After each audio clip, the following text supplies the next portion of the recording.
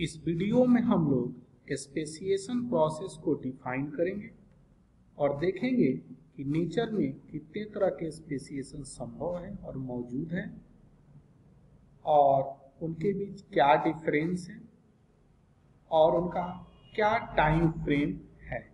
तो सबसे पहले हम लोग स्पेसिएशन को डिफाइन करते हैं। स्पेसिएशन का मतलब है फॉर्मेशन ऑफ़ न्यू स्पीसीज नए स्पीसीज के फॉर्मेशन को प्रोसेस को हम लोग बोलते हैं स्पेसिएशन नेचर में चार तरह के स्पेसिएशन मौजूद हैं।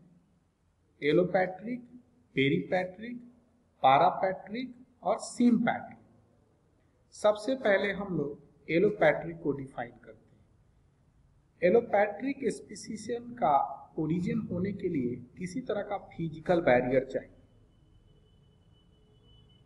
फॉर एग्ज़ाम्पल बहुत सारे स्पीसीज रहते हैं यहाँ पर, और किसी कारण से फ़िज़िकल बैरियर आई मीन किसी तरह का पहाड़ क्रिएट हो गया, कोई पानी का कैनाल क्रिएट हो गया, और स्पीसीज एक दूसरे को क्रॉस नहीं कर पा रहे हैं फ़िज़िकल बैरियर है।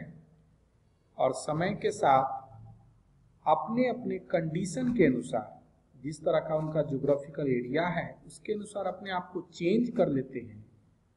और इस तरीके से जो पहले साथ रहते थे, अब नए नए स्पीसीज बन जाते हैं।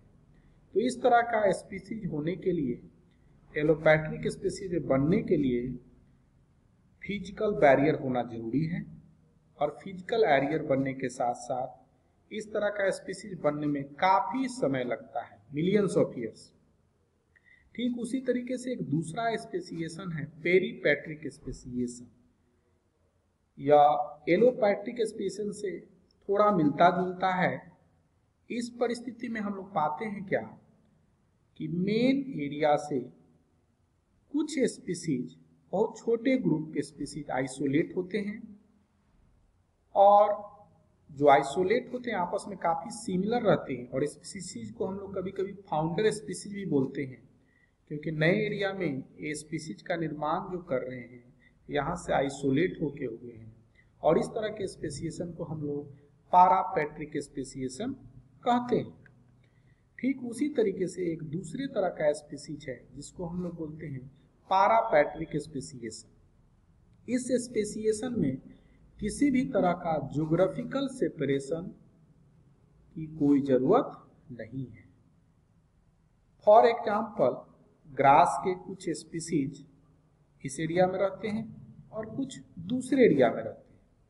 अगर किसी कारण से इस एरिया के ग्रास में किसी तरह का पॉल्यूशन हुआ और इस वजह से अपने आप को चेंज किए, क्यों चेंज किए?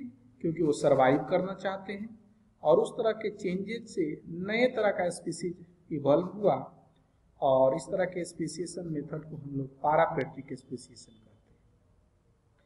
दूसरे तरह का एक स्पेसिएशन है सिम्पैट्रिक स्पेसिएशन इस तरह के स्पेसिएशन में भी कोई फ़िज़िकल बैरियर की कोई ज़रूरत नहीं है।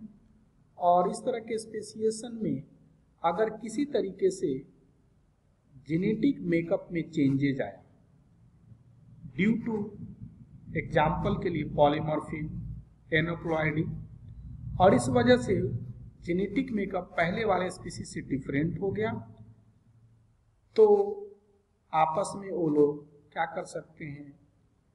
रिप्रोड्यूस नहीं कर सकते हैं और जेनेटिकली डिफरेंट हो गए तो इस तरह के स्पेसिएशन को हम लोग सिम्पैट्रिक स्पेसिएशन करते हैं। सिम्पैट्रिक स्पेसिएशन में काफ़ी कम समय लगता है और एक क्विक मेथड ऑफ़ स्पेसिएशन है। आई होप इस वीडियो को आपने लाइक किया होगा और यह काफ़ी इंपॉर्टेंट है और डिफरेंट तरह के कॉम्पिटिटिव एग्जामिनेशन में और स्पेशली सी एस आर में पूछे जाते हैं तो अगर आपने इसको पसंद किया होगा तो इस वीडियो को ज़रूर लाइक कीजिएगा और चैनल को सब्सक्राइब कीजिएगा। अगर आपकी किसी तरह की कोई और वीडियो बनाने की इच्छा है तो आप कमेंट बॉक्स में लिखिएगा या हमको व्हाट्सअप मैसेज कर सकते हैं। Thank you